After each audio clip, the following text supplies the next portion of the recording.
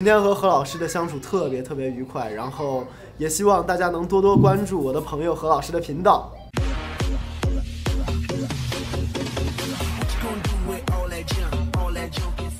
大家好，欢迎夜爱生哥和我们开启全新一天的 vlog。今天呢，我要去见一个我的好朋友，刚从国内过来，他也是来这边旅游啊玩一下。然后他呢是国内的一个明星吧，所以待会儿我们来看一看到底是谁。现在呢来到了温哥华超级出名的一条街，叫做 Alberni 啊，在这边呢，所有你能想象的大的品牌啊都有，比如说爱马仕啊、Tiffany 啊、LV 啊。Van Cleef 啊，然后这边呢，其实还有很多很出名的餐厅，也都是比较高端的，比如说 Kobe 啊这种铁板烧，比如说 Black and Blue 啊、West Coast 啊等等哈，很多就不跟大家一多介绍了。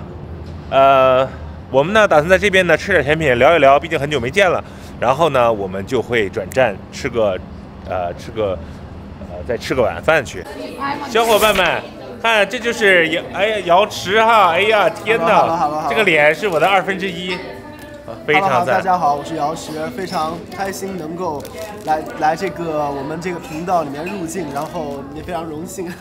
哎呀，真是，我跟你说啊，这个艺人就是厉害哈，说话都一套一套的。刚才特别的害羞呢，怎么样？这一次特意为了来看我，捎带脚去看了音乐节，是不是？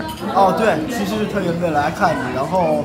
先去了那个科加那边，然后过来来温哥华这边，然后见到了你，然后见到了很多温哥华这边的景色，然后吃到很多美食。这边这边美食真的很疯狂，我特别喜欢这里。哎呀，女粉丝们哈，对不起了哈，我名草有主了哈，开玩笑开玩笑哈。吃麒麟就是在当趟的家麒麟哈，是非常出名的中餐厅。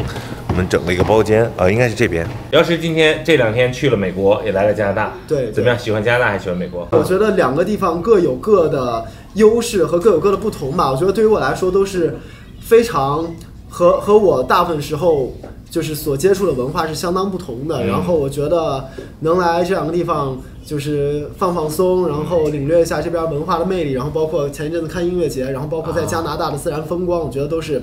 特别能够给我补充能量的一件事，是是是，对对对。呃，那个来温哥华待了几天？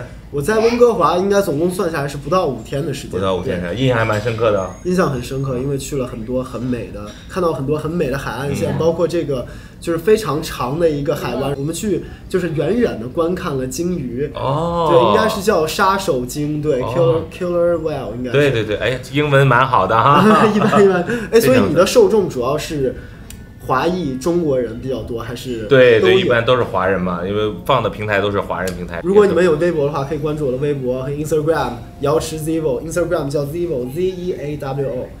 Hello，非常开心能够做客何老师的 channel。哎呀，Welcome to my channel，my his channel。哎呀，谢谢，太荣幸了哈！以后要常来温哥华找我们玩来。好了好了好了，我的频道一般都是华人过来这边，有有的时候要买房啊、卖房啊，他们有的时候要移民过来嘛，他们就是会看我视频，因为视频的这个呃叫什么房产类型的话题比较多一些。希望大家多多关注何老师的频道，然后因为我自己一直就是特别。喜欢何老师的内容，然后今天也跟着何老师领略了不一样的风采。这边完成完全已经成为了何老师的粉丝，然后希望大家多多支持他。